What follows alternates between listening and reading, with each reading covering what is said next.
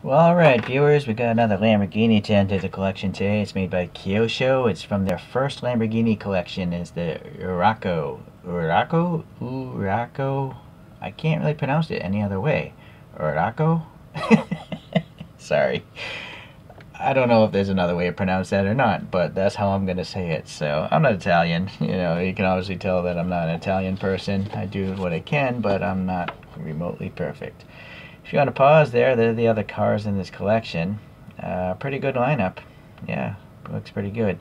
Uh, you'll see here in the bottom, it's from 2004. So pretty old model now. Uh, no price on this box that I can see, but I'm pretty sure it was four bucks, somewhere in the four dollar range, based on uh, the other ones from this time frame, or even later ones cost four dollars and twenty cents. Okay, so it's also interesting to see that this thing uh, is in a blister pack. It's not your typical slide out blister. It's literally a sealed blister pack. But before we get into that, let's look at this card here. So this is the 1972 version. Uh, it was this car was available that year. It was its first year, and it was sold up until 1979. And uh, I can't make any of that out other than the fact that it's a two plus two seating configuration. There are the other colorways. I chose purple because I don't really have many purple cars in my collection. Uh, Urraco is a little bull in Italian, from according to Wikipedia. This car was designed by Marcello Gandini, who's designed many other Lamborghinis and a lot of cool cars that uh, people love. And this thing was powered by a V8 engine, so it's not a. It wasn't the top line Lambo. It was actually designed to compete with the Ferrari Dino and the Maserati Merak or Merak. Okay, let's get this off the stand here. So the V8 engine uh, varied in size depending on the year, either 2 liters up to 3 liters, making only 180 to 250 horsepower. So again, it's it's a small Lambo um, at a pri uh, lower price point. But they still made around 790 of these things according to uh, Wikipedia, so that's a pretty good production run, I guess, for a 1970s Lamborghini. Okay, well, look at that photograph there. Hmm, seems like I pulled up the wrong photograph. Okay, I'm back with better photos. I actually don't, uh, I try to go into these reviews blind because I want to be finding the problems or be impressed for real, right? But unfortunately, it's, it's kind of hard to do if you don't know the year. It'd be nice to uh, check that out earlier. But anyways, this is a 1972 photograph, so now you can see that it's matching a bit better. In particular, the uh, you know turn signals are built into the bumper there, and then there's some fog lights there. So I think that looks all right. Okay, the wheels, yeah, they look similar. Those vents there, well, they tried. Okay, so rear view.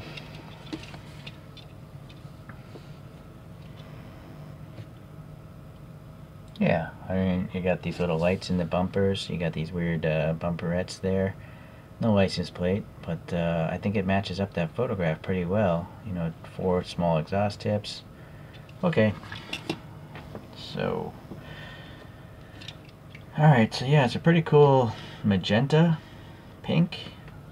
I guess it's magenta. When I look at it with my own eyes, it's magenta. I'm not sure what your monitor will show, but Okay, let's look at these wheels. These wheels look like the ones that came from the LP 400 Countach, the first uh, Countach.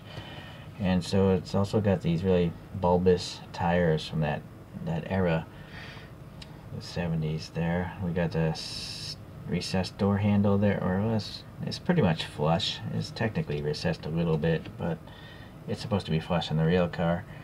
And then uh, a little character line there. The door panel gaps seem okay. There's a little silver down here. I think that's a chrome strip on the real car. Makes noise, but it does roll. So yeah, we at those uh, turn signals. Whoa, I thought they were painted at first, but no, those are actual orange plastic uh, turn signals because you can see it's actually carrying over underneath the bumper there. So that's pretty interesting it's a super thick uh, turn signal. You can see in that little gap there. Okay, well that's nice. Nice to see. Could have easily been painted being so small. Kind of like these little fog lamps there. They are painted. And I do feel like they should be bigger. On the photograph, they look much larger than this. Okay. And then, uh, what is this grill here? It's like a little textured grill. Seems to be plastic. Okay. Probably part of this piece. Alright, well, while we're down here, is press fit together. We got some treads. And, uh, exhaust. No paint, though, on the exhaust tips. Probably just raw steel. Mm, maybe not. They might be chrome tipped on the real ones. Okay, well, going around to the back, yeah, this looks pretty accurate. You saw in the photograph, the badge printing is really well done. So a little key lock there. Okay, uh, nice. Uh, you know, Gandini did the Countach, I believe, so he's got trapezoids all over that Countach, and you can see this trapezoid here in this car. Hmm, real weird stain going on you know, must have come from the factory that way since it was brand new. Okay, well, black paint in these vents. That's pretty nice. Mm, the windows, they got a little silver trim painted on all of them and some silver on the wiper blades. So it's pretty nice. Uh, little vents here in the hood. No black paint though. This Lambo badge. Not expecting the most from the first Kyosho collection, but it looks like a bull somewhat. You can see now under this magnification the paint rash is rough. Yeah, that's definitely not so great. Okay, well, interior, boy, I'm not even sure if I'm going to bother trying to show that. The, the windows are so narrow. But it's got a lot of detail. It's just all black. So that's just the Kyosho way. But I do believe that 1970s Lamborghinis they very often had all black interiors. It looks like it's a black interior on that photograph, so I guess this is accurate. Alright. Well, I guess say it's a pretty nice model, you know, except for the paint rash, but again, it's a pretty old one. I mean, 2004, so, and it sold for probably $4. So, okay. Um, let's see here. I want to talk about another one that I have had in my collection for a while. I just, I don't think I ever spoke about it. It's one of my early purchases, so I didn't really have my review format in line back then. And so it would be the Airako Rally. So let's pull this out here. This is by Kyosho as well. And there's an interesting story on this one. Uh, the chief test driver, Bob Wallace, he made this car. He took one of them and uh, he was also responsible for the Miura Jota, and so, in the spare, his spare time in 1973, he converted a Airako to this. It's called the Airako Rally. And so he added a roll, roll cage inside of there. He stripped out the interior. The whole rear seat is missing. And then uh, he filled it in with a special fuel tank. And then uh, someone, someone in Japan got this thing and restored it into pristine condition. So it's uh, latest the article I saw tells me this thing is in Japan somewhere. So naturally, you know, there's no rear wing on this Kyosho model. I think it would have been pretty much impossible to make those tiny struts there. So they just left the whole thing off. They didn't want to do new tooling for a wing, but they did do new tooling for this. This whole uh, chin spoiler here that's, you know, clearly on the real car. So that looks pretty accurate. And it's pretty interesting how the uh, whole front end is covered over like this. Look at that. It's, it reminds me of those Grachan collections, those Aoshima Skyline Liberty Walk Grachans. But here, look at the wheels. Those are That's a pretty good representation of that wheel right there. So, alright, let me pull this thing back into better light angle here. And let's go over this one. So it's got those little bubble mirrors on the fenders. So that's a nice thing that Kyosho does. They're not afraid to put on classic mirrors a lot of times. Uh, Lambo badge again, it's alright. Uh, different wiper blade, just one single wiper blade. Uh, yeah, so this is interesting. I never really looked at this model carefully. Plastic headlights. A little black paint here for that vent, and these things here. These might go to the brakes, maybe. But what's going on here? It looks like this is a grill, or possibly an extra radiator or something. It's textured, but it's at an angle. Look at that. Interesting. Maybe it's an oil cooler or something. I'm just guessing. Uh, I don't know if that's a different orange.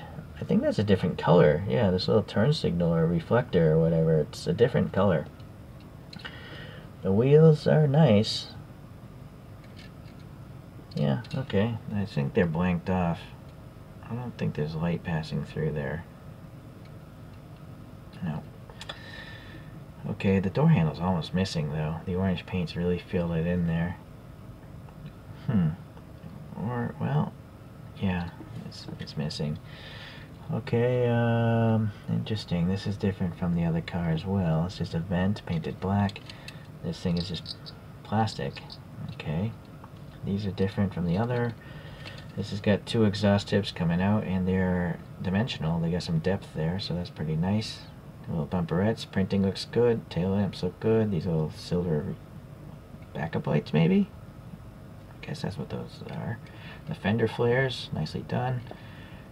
Nice big uh, tread blocks on the rears. Staggered tires, press fit together, so maintenance is an issue. Anyways, it's a pretty cool model. Um, I guess I will pull out the flashlight on this because it's supposed to be a 2 plus 2. Let's just see if those back seats are in there. Yeah, there's two little back seats. And the front seats, right? So now, this is supposed to just have like a fuel tank in there.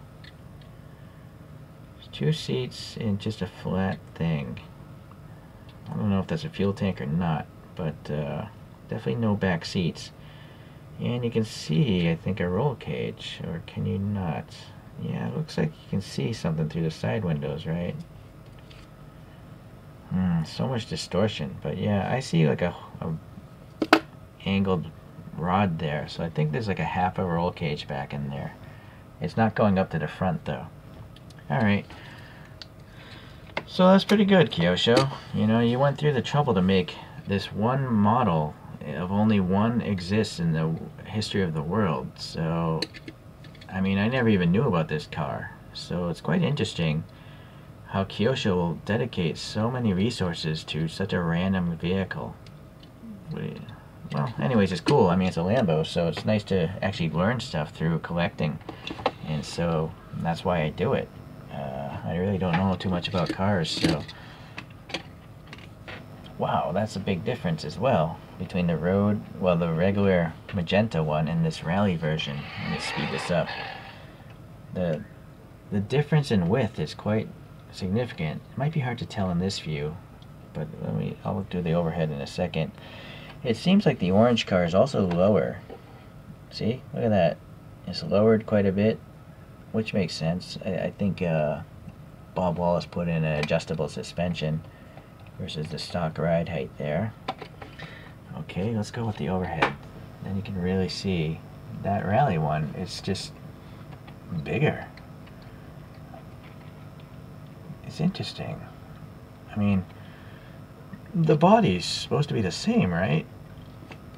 But it looks like the orange car is much wider in the front, and the headlamps are in a different location. I could see that actually between the photographs of the real one. But maybe, I don't know, are those the same or not? I feel like the orange trunk here is wider than that magenta. Possibly, you know, this is the maybe they got the dimensions of this wrong, and then when the next time around they made it wider to be more accurate. I didn't think to bring out the calipers on this one, so I guess we won't know. So sorry. Okay, but anyways, it's nice to see the differences in them. I don't even think I knew the Lamborghini Urraco existed before I started collecting these 164 scale cars. I knew about the Jalpa, which I don't think anyone makes. And, uh, hmm, so there's also the Silhouette. So, you know what? I do have those that thing available, so let me pull out a bigger coaster here. Let's transition over to this one. Uh, I gotta tell you guys, this is maybe not a good purchase, this thing. I glued this on to make the power button easier to get to. But you see how I have this USB cable here? I have an 1860, 18650 battery in this. It's a rechargeable battery, but this thing will die on me. So I don't know why there's a USB cable. I don't think it's charging my battery. So I took the battery out and tried to run it. It won't run without a battery. But if it doesn't charge the battery, what good is having this USB thing? Uh, now, is it just me and my unfortunate luck that maybe I just got a bad unit?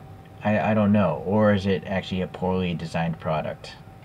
So just be mindful of that. There's tons of these on AliExpress. They have three buttons here. It says three speeds. And it could take AAA's or an 18650. I currently have rechargeables in both banks because I want to see if this thing will die on me. So there's rechargeable batteries of both sizes and is plugged in. And we'll see if it dies in the future. Okay, sorry about that segue, but uh, if you guys are looking to buy this stuff, do your own reviews. I don't want you guys wasting your money. Okay, so I mentioned that the Yurako, the street one, was uh, competing against the Ferrari Dino. So this is by Kyosho as well. And uh, let's put this next to this thing here.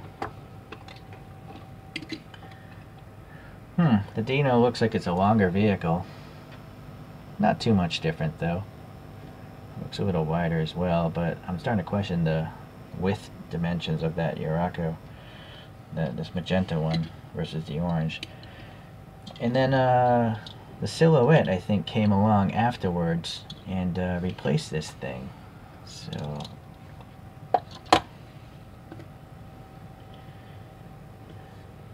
the silhouette looks so much like the Jalpa so I, I don't know what the differences are. I haven't compared photographs of the Jalpa with the silhouette. Okay, well anyways, this video is about the Yurakos today. Alright, well, I guess in typical Kyosho fashion, I mean, they're really good models for the price. At least the original price. I guess I'll see you guys in the next time around. Thanks for watching.